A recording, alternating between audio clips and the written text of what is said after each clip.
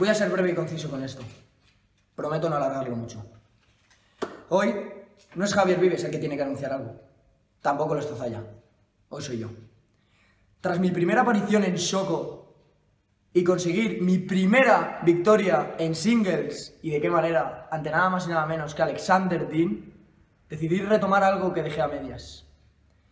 Tras esa noche de Level Up, en la que estuve a esto, a esto, de conseguir ese campeonato de Level 1, me prometí a mí mismo, Elvis Harrison, ser tu puto dolor de muelas, ser tu puta peor pesadilla.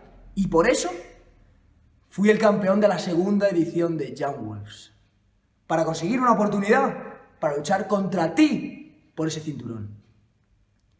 Así que, ¿para qué esperar más? Sábado 23 de noviembre, en Fury.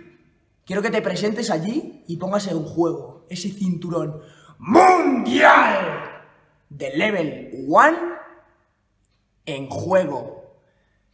Y aunque vaya solo, te prometo que va a ser Elvis Harrison contra Next Level.